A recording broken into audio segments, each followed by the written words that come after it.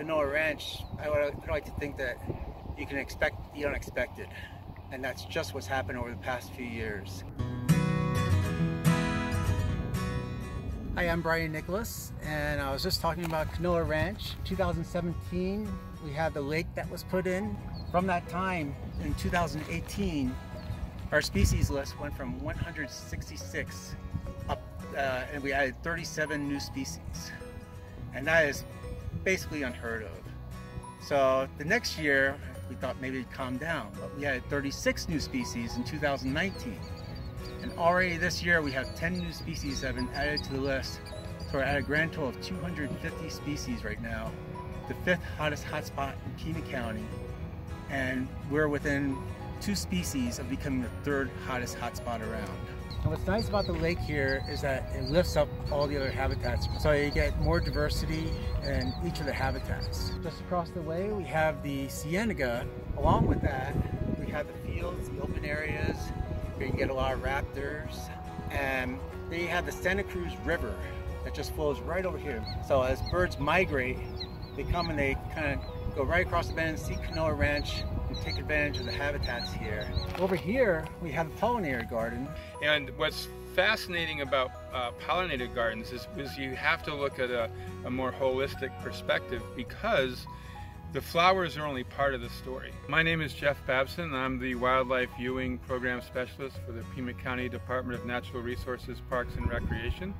And we are at the newest addition to historic Canoa Ranch, the Pollinator Garden. It has a whole range of native plants that provide nectar sources and larval food sources for a, a wide variety of, of animals, birds, butterflies, moths, beetles, flies, all kinds of stuff.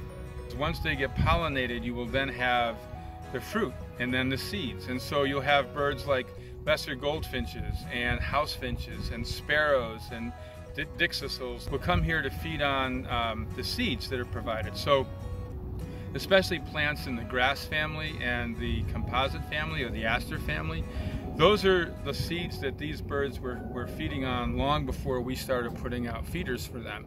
So that's going to attract uh, a wide range of seed-eating birds in the wintertime. So if you're new to birding, the easiest thing to do, I think, is um, grab a pair of binoculars and just head out wherever you want to go. It could be your backyard, it could be Canoa Ranch, it could be anywhere.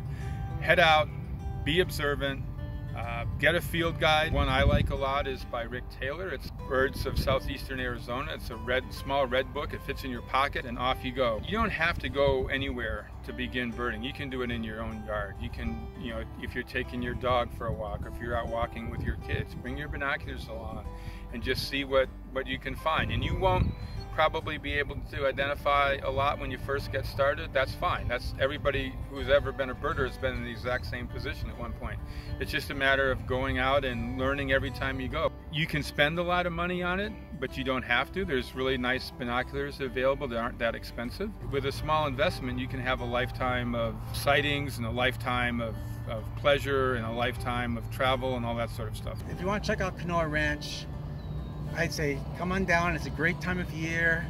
We're coming into peak migration here, which uh, probably the second week in September is going to be the hottest as far as migration goes here in Canoa. I mean, you'll be seeing sparrows, hummingbirds, ducks, and you might even see a, a tern or a gold come in for, for a while here.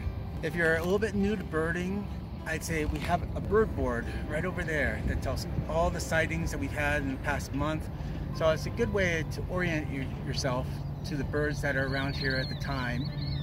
Another good resource is using eBird, which is an application where people put in their sightings and Canoa Ranch is, is a hot spot, a popular spot as listed in our Canoa Ranch Conservation Area.